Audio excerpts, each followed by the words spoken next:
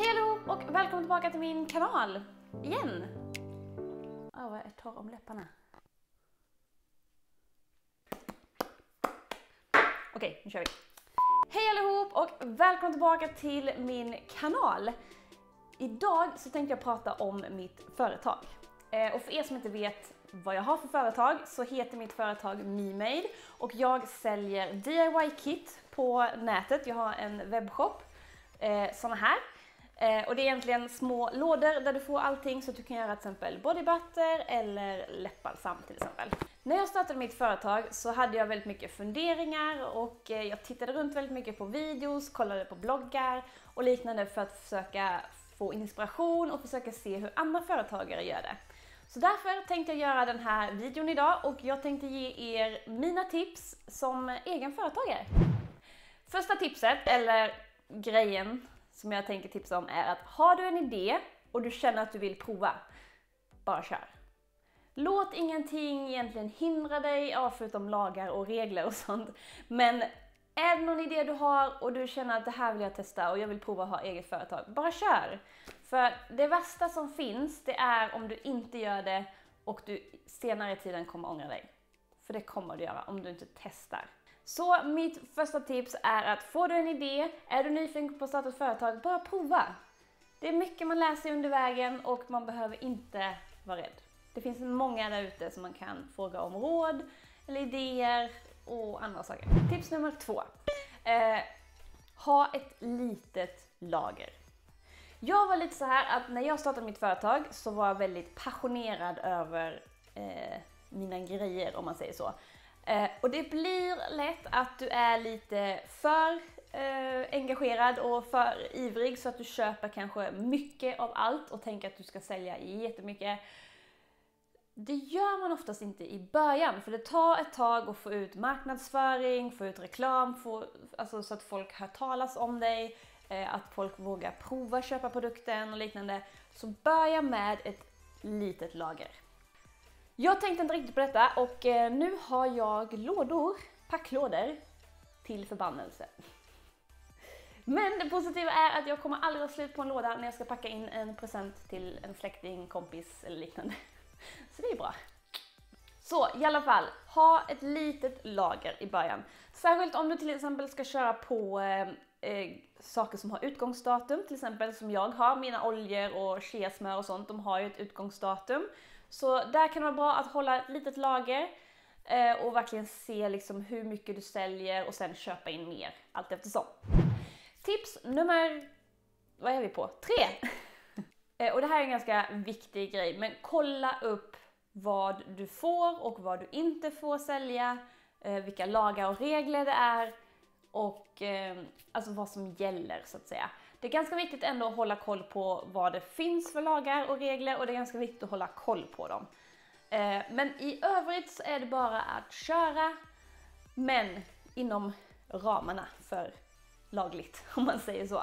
Så det kan vara bra att göra lite research innan man startar. Det kan vara bra att läsa på, det finns en sida som heter verksamt.se. Skitbra sida verkligen. Så läs på den till exempel. Det finns jättemånga bra bloggar, det finns alltså riktigt många bra grejer som förklarar mycket hur det funkar med bokföring till exempel, hur det funkar med eh, webbshop, hur det funkar nu, till exempel den nya lagen GDPR, hur det funkar med ja, allt möjligt, personuppgifter från dina kunder till exempel och allting. Så gör lite research, kolla upp vad du får göra och sen bara kör. Okej, nu kör vi tips nummer, vad är vi på? Fyra? Jo, fyra. fyra. Eh, annonsering.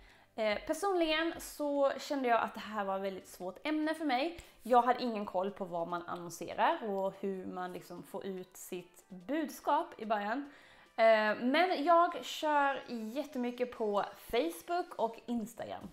Och eh, det funkar väldigt bra eftersom att den målgruppen jag har är eh, ofta unga till kanske upp till ja, 30-40, det finns även de som är ännu äldre.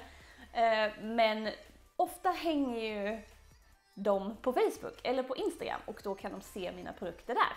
Så jag gjorde så att jag körde annonsering via Facebook och Instagram väldigt mycket. Eh, sen självklart kan man ju prova liksom i kanske tidningar, jag vet inte, vad finns det? Det finns väl radio, tidningar, TV. Nu känns det ju lite som utdöende medier. Eh, sociala medier är ju fantastiska sätt att marknadsföra sig. Och oftast är det mycket billigare än till exempel att ha en annons i en tidning eller liknande. Så jag skulle säga på kör på Facebook och Instagram. För där kan du välja till exempel, ja, du kan välja en budget på 100 kronor till exempel för, och så väljer du hur många dagar du vill att det ska gälla och sen löser de det. Skitbra! Mitt tips nummer fem till er är att skapa en kundkontakt.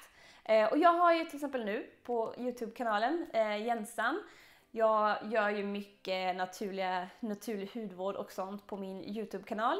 Jag har min blogg, eh, jag har min personliga Instagram, jag har mitt företags Instagram, jag har eh, företags Facebook. Vad har jag mer? Ja, det är nog det. I alla fall, jag har en hel del olika sociala medier. Så är man intresserad till exempel i mina produkter så kan man eh, vad ska man säga, ta del av all min social media och få en slags kontakt med mig. Jag får mer kontakt med kunderna när jag har både blogg, Instagram, Youtube eh, istället för att bara ha en webbshop. För det kan vara väldigt svårt att få den här kundkontakten när du bara har en webbshop till exempel och kunderna har kanske svårt för att se vem du är, eh, vad du säljer för produkter, vad du säljer för varor och liknande och då är det en riktigt bra idé att ha flera olika sociala medier där de kan få lära känna dig, eh, veta om dina produkter, lite extra grejer, lite tips och tricks och liksom få komma bakom webbshoppen om man nu säger så. Eh, så det är ett tips att skapa kundkontakt. Mitt sjätte tips som jag tänkte tipsa er om är just eh, webbshoppen som jag använder mig av. Jag använder mig av hemsida 24 och personligen för för mig som verkligen inte kan eh, sitta och vad heter det, knacka koder, HTML-koder och bygga hemsidor från grunden och grejer. Så personligen så tycker jag verkligen hemsida 24 är ett riktigt bra verktyg för småföretagare. Du kan välja vad för sorts hemsida du vill ha. Om du vill ha ett billigt abonnemang där du bara har kanske några få produkter. Eller om du vill ha det lite dyrare abonnemanget där du får ha typ oändligt med produkter. Eh, så jag personligen tycker att hemsida 24 är toppen och det är det jag använder och det är mest ett litet tips om du kanske själv vill starta en webbshop. Så det var alla tips jag hade för idag och nu så hoppar vi över till den roligare delen i videon. I samarbete med mitt egna företag MeMade så kommer jag tävla ut ett sånt här DIY-kit Eh, och då får man välja valfritt. Jag har fyra sorter. Ett läppbalsam, oj nu håller jag den upp och ner. ett läppbalsam finns i doften pepparmynta och citron. Jag har ett annat kit med body butter och den finns i lavendel eller citron. Det ni behöver göra för att tävla är att gå in på min Instagram, där heter jag Jensan.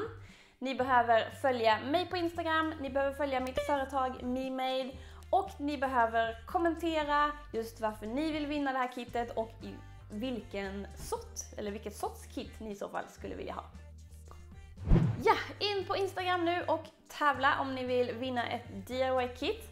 Eh, annars hoppas jag ni hade det jättebra i den här videon tänkte jag säga. Annars hoppas jag att ni gillar den här videon, att ni tyckte att den var intressant, kanske inspirerande också. Eh, ha det jättebra så ses vi nästa gång. Hello